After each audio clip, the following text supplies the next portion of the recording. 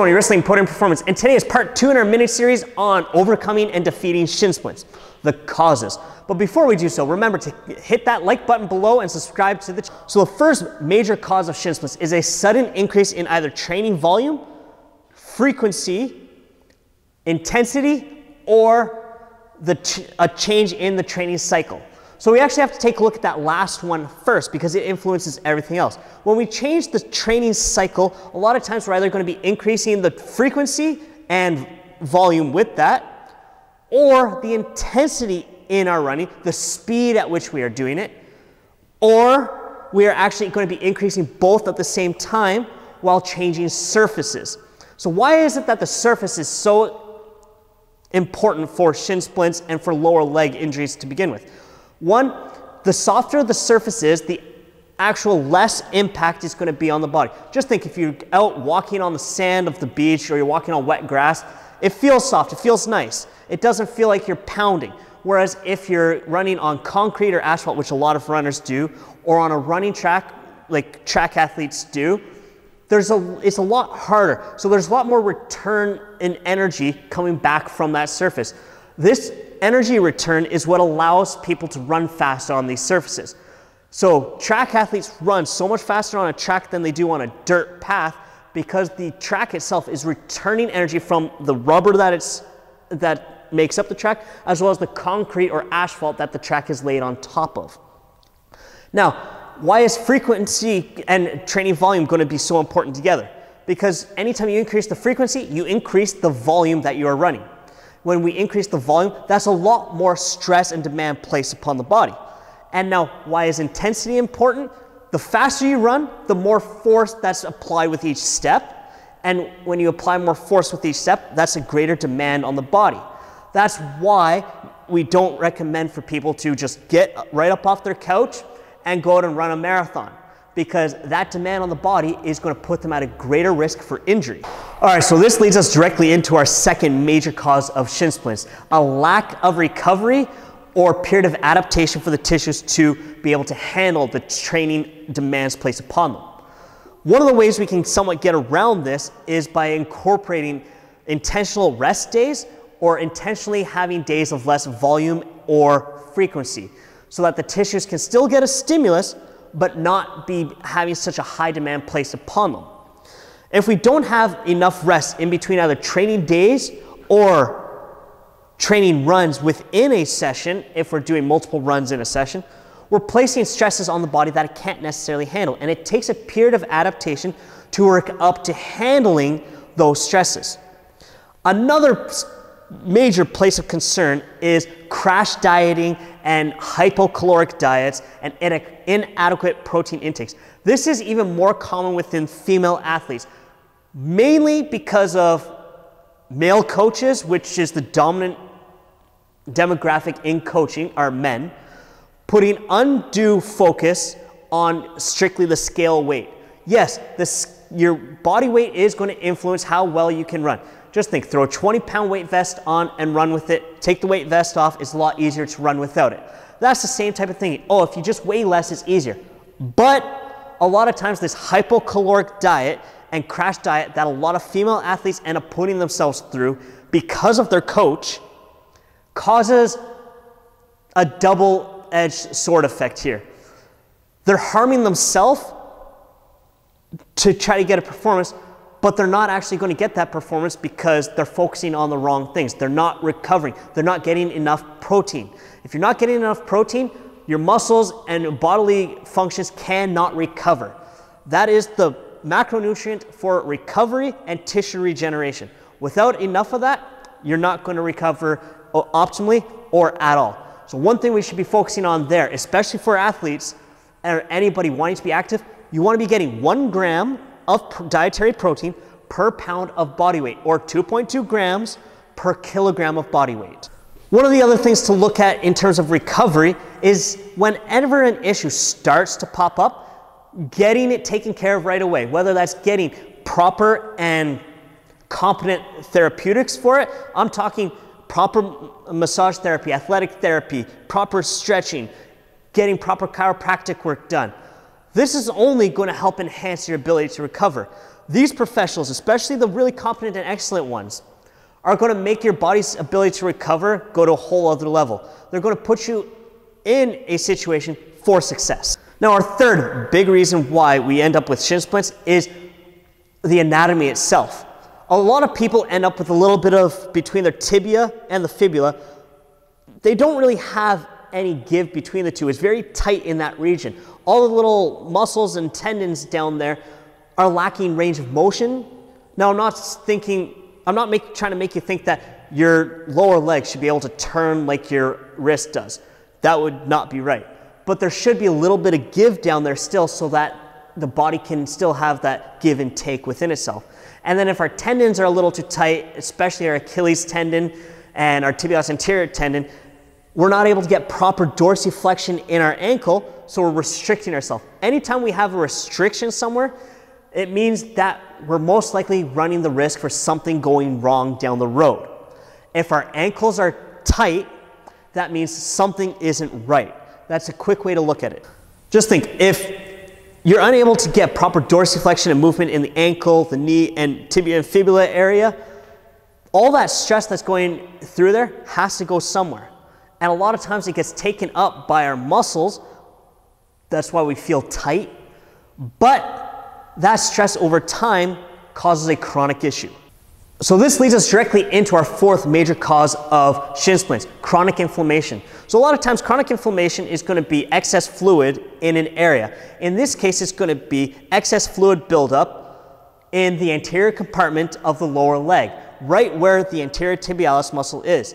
All this extra fluid will push down onto the nerve, cause pain, and our body sends a signal then, which creates a run-on effect if we're not getting this inflammation taken care of, we run the risk of a chronic issue like shin splints. And now let's take a look at our fifth major cause for shin splints, a relatively weak tibialis anterior muscle. What do I mean by relatively weak? You're never going to get an anterior tibialis muscle that has a very strong or a very high magnitude of one repetition maximum. It's not going to be able to lift a lot of weight. The muscle is quite small to begin with, and its job is literally just to lift up your foot. But when I'm talking about relatively strong, I'm also talking strength endurance, and that's what's going to be a major determinant in the health of your tibialis anterior. If your calf is extremely powerful, your quad is extremely powerful, that's going to be putting a lot of extra stress onto the anterior tibialis if it can't handle those loads that are placed upon it by muscles that are projecting your body through space at greater distances and frequencies. So your calf, your quad, and your glute are going to make you run faster. But if your tibialis anterior can't lift up your foot fast enough, so the rate, the, the rate firing of it isn't going to be all that great, and it can't do it enough times fast enough, you're going to run into an injury risk. That becomes the weak link. Weak links is where things break down. So while yes, maximal strength will play a role, you can work on increasing the 1RM, 3RM, 5RM, 10RM of the tibialis anterior muscle. Strength endurance in this area is going to be a little bit more important. Now there's special considerations to be made for kicking sports, soccer, football, rugby, American football. Whenever you're kicking an object, you get a slight hyper extension of the foot. So as you make contact with the ball or if you're doing kickboxing, mixed martial arts, you make contact with your opponent's skull, the foot is actually going to bend slightly further backwards. This causes excess, not necessarily flexibility that's natural, but a very short period of time where you get the muscle to overstretch and the tendon to overstretch and then rebound back. If you're not able to handle the stress of that you're going to run the risk of an injury again because the tissues there end up being pulled apart a little too far. And if you're doing this frequently and not able to actually handle it and get the, the muscle fibers to come back together properly, that's when you end up with a chronic injury. That's why so many soccer players end up with shin splints. They're constantly in a toe point position when they're dribbling the ball, kicking the ball around, and then when they kick it hard, the foot gets right, uh, gets wrenched right back. And then you add in that they're doing a lot of running, that's a lot of stress placed upon there. And they haven't learned how to run properly.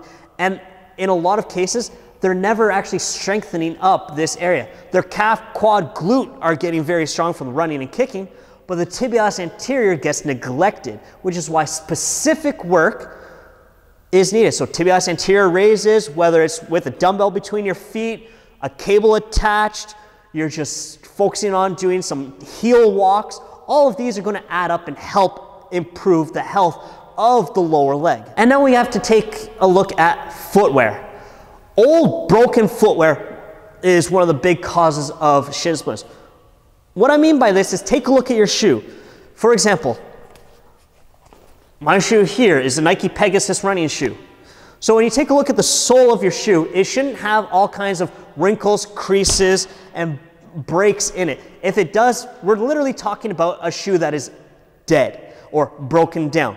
That means it's no longer actually going to support you properly when you're running, and you're going to be taking a lot of extra force through your foot, which then has to travel upstream from there. When we're also taking a look at footwear, there's this craze of minimalist shoes. If you're doing a lot of your running on hard tracks, asphalt, and concrete, you should not be running in minimalist shoes because they offer zero protection between you and the surface you are on. Now, you're going to hear proponents for these shoes say, oh, but it's healthier, it's more natural to run like this.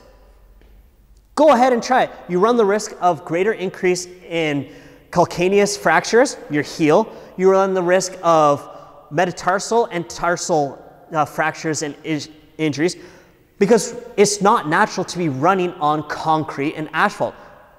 So we're running on something unnatural, but you want to run much more naturally. The vast majority of people to begin with, when they're running, are a little bit overweight. So that's a lot of extra force coming back at you. And because these surfaces have no give whatsoever for the human body, that's a lot of extra force being returned into the human body. And this goes first through the foot, which is why a lot of issues end up happening there, and then through the lower leg. Shin splints happen because things start to add up upstream, all this extra volume and intensity, as well as shock coming through there, causes issues because we're going to end up with an increase in the amount of inflammation as well from running on these surfaces. And then something I've noticed and others have also noticed is that those who have issues with plantar fasciitis seem to have an issue with an increased rate of shin splints as well. It's almost like everything's a little bit interconnected uh, within parts of our body. If you got an issue with the knee, ankle or hip ends up having something go on. If there's something going on with your hamstring, well, there's something else. So in this case, when the plantar fascia is acting up and you have plantar fasciitis, whether it's just from some inflammation or there's actually a real bad long-term issue there, something else has to pick up the slack and that a lot of times ends up being the tibialis anterior because our calf can handle quite a bit as well as our Achilles tendon. They're workhorses of the body, but the tibialis anterior can't. So then we end up with inflammation, and we end up with that chain of events. Inflammation leads to fluid, fluid leads to pressure, pressure leads to shin splints. So these are our major causes of shin splints. As you can see, one can lead right into the other and it's a knock-on effect. Whereas sometimes we can take a look and nip the issue in the bud early on, or if an issue pops up later on, we just have to take a look at, okay, what's being done and how can we rectify the situation? Is it simple therapy? Is it a little bit of rest that we need? So in part three, I'm going to be diving back into commonly misdiagnosed medical issues that are called shin but aren't and can be quite catastrophic. Remember to like and subscribe to this video, leave a comment below. Coach Tony, Risling Podium Performance, embrace your potential.